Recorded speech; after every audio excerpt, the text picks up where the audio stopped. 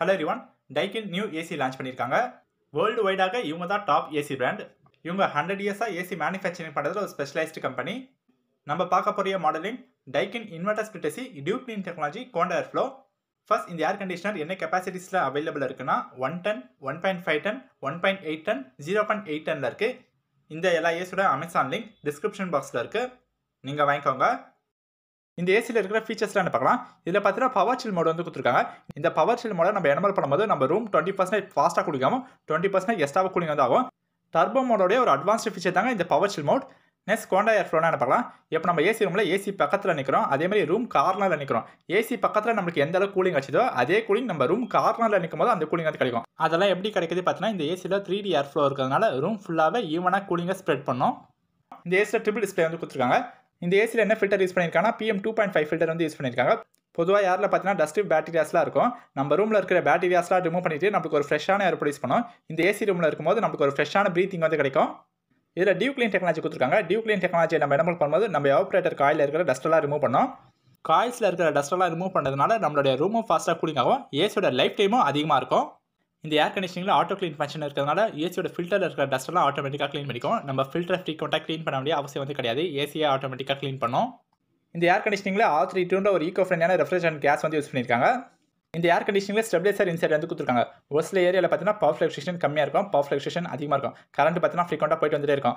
அப்போ ப்ராடக்ட் வந்து டேமேஜ் ஆகாமல் இருக்க டைக்கின் வந்து என்ன பண்ணியிருக்காங்கன்னா ஸ்டெபிலைசர் ஃப்ரீ ஆப்ரேஷன் வந்து கொடுத்துருக்காங்க. உங்கள் ஏரியாவில் பவர் ஃப்ளக்ஷேஷன் எப்படி இருந்தாலும் சரி இந்த ப்ராடக்ட் வந்து ஈஸியாக மேனேஜ் பண்ணும். என்ன தான் இண்டிபெண்டன்ட் ஆச்சாலும் இந்த ஏசிக்கு ஒன்றுமே ஆகாது.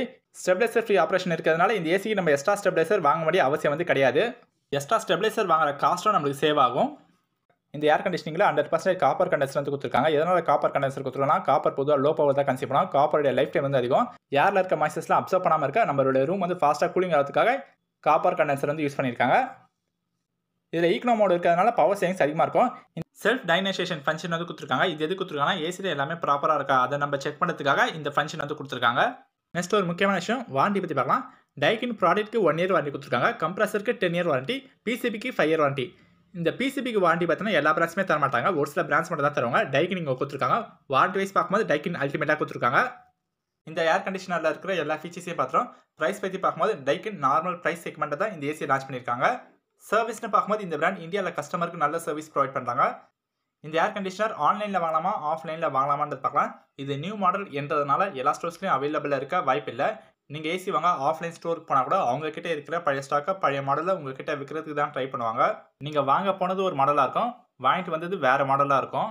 அதனால் நீங்கள் அமேசானில் ஏசி வாங்குறது ஒரு பெஸ்ட் ஆப்ஷன் நீங்கள் அமேசானில் ஏசி வாங்கும்போது ஃபஸ்ட் குவாலிட்டி ப்ராடக்ட் தான் தருவாங்க. ஓவராலாக இந்த air conditioner value for money ஒர்த்தான ப்ராடக்ட் டைக்குன்னு ஒரு நம்பிக்கையான பிராண்ட் இவங்களுடைய ப்ராடக்ட்ஸ் எல்லாமே லாங் லாஸ்டிங்கான ப்ராடக்ட் கஸ்டமர் வந்து ரொம்ப வருஷம் யூஸ் பண்ணுற அளவுக்கு இவங்க ப்ராடக்ட்டுடைய லைஃப் டைம் அண்ட் குவாலிட்டி வந்து இருக்கும். அதனால் இந்த மாடல் நீங்கள் தாராளமாக வாங்கலாம். நம்ம இந்த வீடியோவில் பார்த்த ஏர் கண்டிஷனரோட அமேசான் லிங்க் எல்லாமே டிஸ்கிரிப்ஷன் பாக்ஸில் இருக்குது நீங்கள் வாங்கிக்கோங்க. தேங்க்ஸ் ஃபார் வாட்சிங்